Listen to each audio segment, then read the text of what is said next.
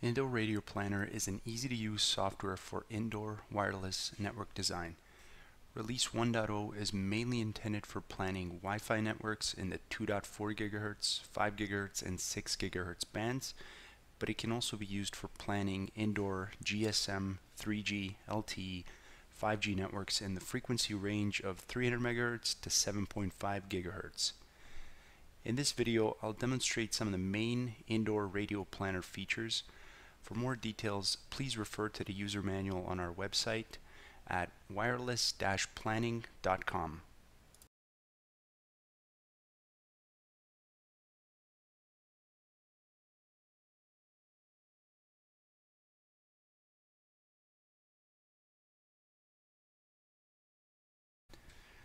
Should you be interested, you can download the software and evaluate all the features during our convenient 7-day trial period. The trial package contains two Wi-Fi network project samples for multi-story buildings. The first project is that of a high school that uses a simple picture as a floor plan. The second project is an office building and uses CAD format drawings. The two provided projects are fully ready for coverage prediction studies. Simply open the project and click on the Calculate Coverage button.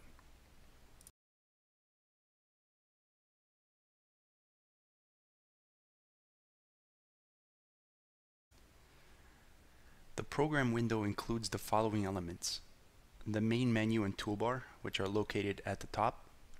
The central work area, which includes the floor plan with access points, RF zones, walls, and the coverage prediction results. The layer control panel, which is located on the left. Here you can enable or disable the editing of the layer as well as control its visibility. The floor selection panel that is located under the panel for working with layers the panel with the selected element parameters is located at the bottom left.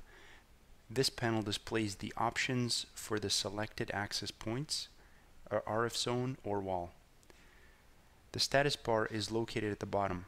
This provides information about the coordinates and power levels for the two access points with the strongest levels. Roll the mouse wheel to zoom in and out. To move the floor plan, click on the mouse wheel and drag.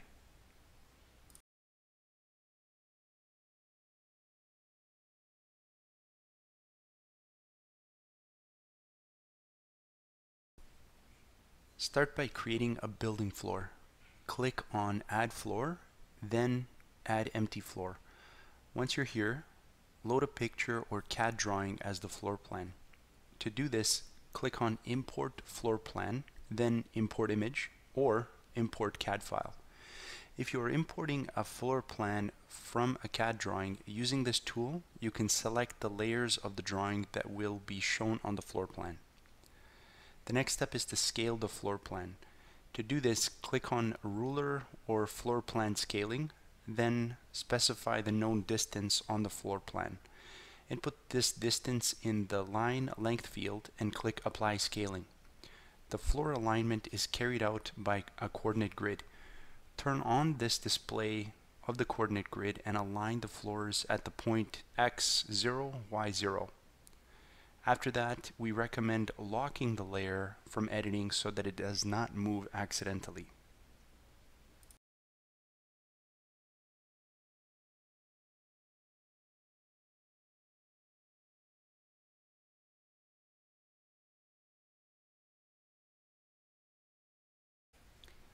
The signal attenuation calculation in Indoor Radio Planner is performed by using the ITU R P 1238-11 propagation model. In this propagation model, the signal attenuation is influenced by the RF environment. To create a building RF environment model, the user needs to draw a so-called RF zone and walls with the corresponding loss parameters. We will cover this in the next section.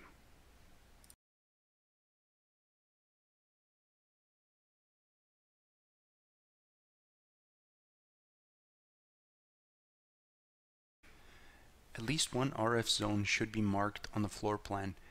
Click on the Add RF Zone toolbar. Use the mouse to draw a polygon for the RF environment. You can right-click to finish the drawing of this polygon. Once you've done this, select the RF zone parameter from the list that appears. To complete the entry, press escape or click on the select tool on the panel. In addition, you can also perform the following operations on RF environment polygons. Please note, uh, to do this you must unlock the layer. You can edit the shape of the polygon by dragging their nodes with the mouse. You can drag and drop entire polygons. You can delete the polygon you can do this by selecting it and pressing delete. Once completed, you can draw all the RF zones you need and then lock this layer from editing.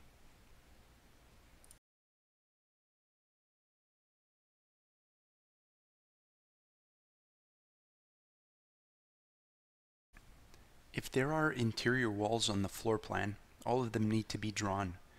To do this, click on Add Wall on the toolbar, then draw the wall. Right-click to finish drawing the wall. You can select the wall type from the list that appears. To complete the entry, press Escape or click on the tool on the panel again.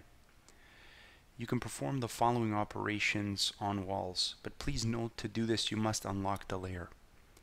You can edit the shape of the walls by dragging their nodes with the mouse. You can drag and drop entire walls. You can delete the wall by selecting it and pressing delete. When drawing walls and RF zones, you can use the convenient Snap to Nodes feature, which is enabled by default.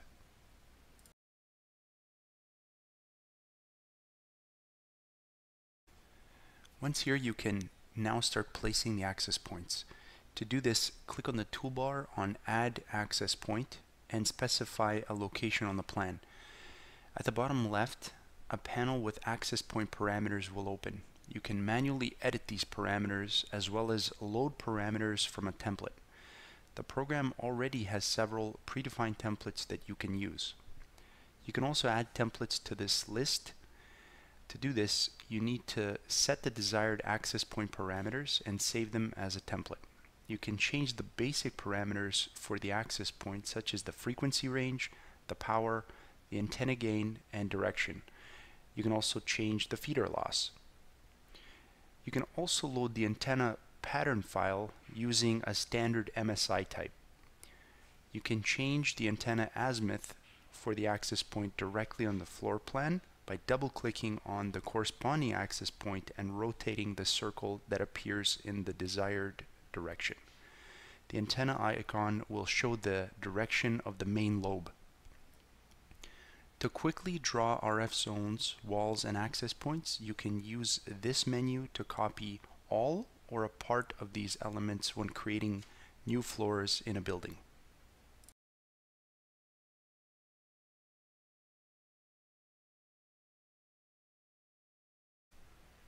Currently, there is no option for an automatic placement of access points in the program. Our experience has shown that it is still impossible to consider all the features in an automated design and always have to place access points manually. This process includes several iterations. You first do the initial placement of access points, next the performance of the calculation, then based on the results you can change the location of some access points and so on until you get the optimal coverage.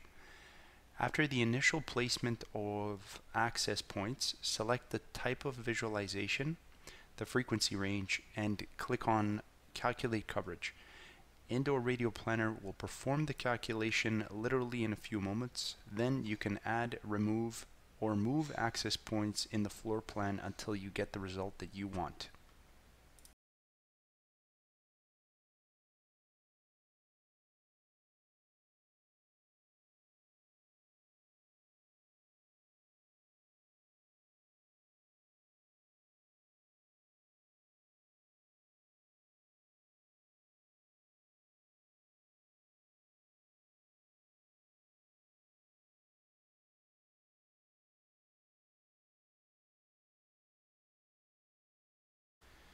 Indoor Radio Planner can perform the following visualization types. Signal level, best server, number of access points. The signal level visualization shows the signal strength map. This is also called the coverage map or heat map, measured in dBm. Signal strength is one of the most important factors that influence wireless network performance. A low signal area causes unreliable and low throughput conditions for end devices. The signal level is shown for the access point that has the strongest signal in the given map area. The best server map shows the identity of the access point supplying the strongest received signal at the location identified. The colors that indicate the coverage from various access points are assigned automatically from a standard set. Only levels above the RSSI, which is the received signal strength indicator level, set in the settings menu are taken into account. The number of access points visualizations show how many access points cover the given area only levels above the RSSI level set in the settings menu are taken into account. Indoor Radio Planner can perform visualizations both for one frequency band and for two at once.